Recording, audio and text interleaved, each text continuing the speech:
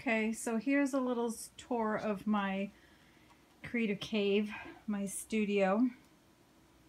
This is primarily where I work on my small pieces. It's a outdoor table actually that I um, bought I think for $30 when I was in Sedona. I loved it because it has a glass top and I use the glass top as a paint palette.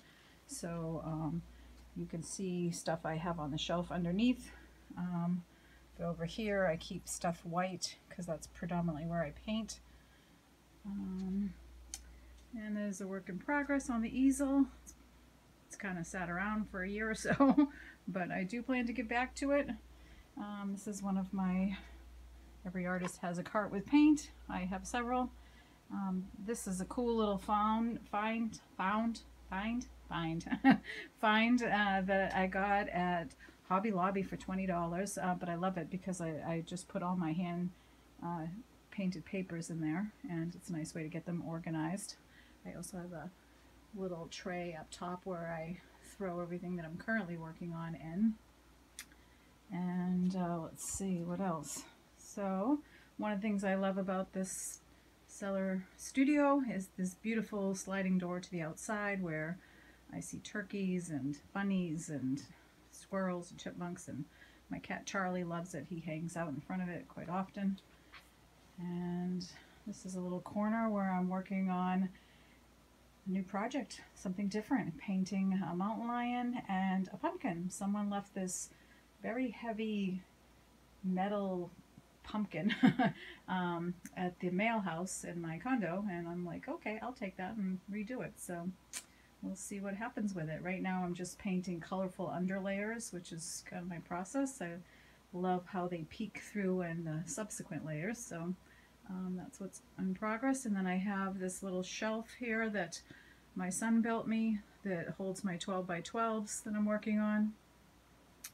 And um, these are some acrylics on paper, um, paper and then some prints, uh, giclée prints that I had made. And over here are just some folding tables that I can move around. These are wall easels, again, that my son built for me so I can work on larger pieces. And my goal for the remainder of the year is to venture into making bigger pieces. So this is me starting out with my colorful underlayers, um, which just makes me happy. It gets me in the flow, gets the creative juices flowing. I don't know what it's going to be yet. It might be a birch tree, it might be a marshscape, not really sure. And there's another one that I'm also working on. A couple more painters trays or carts that I can move around with my paints on it that I love. Lots of little folding tables.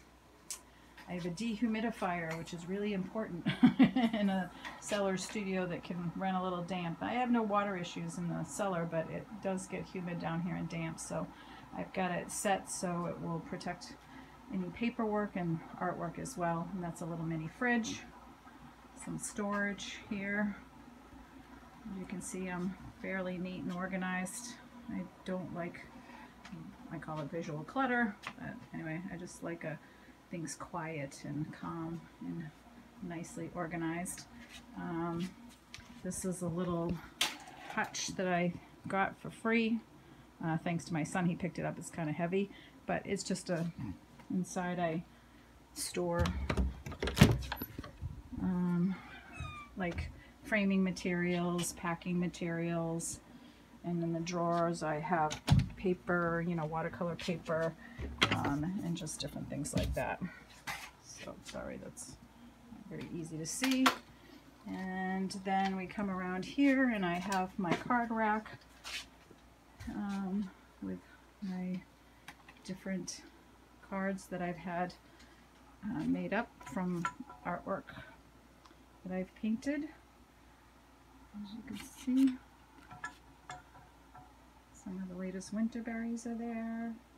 Some of the marsh marshscapes. They're five by fives.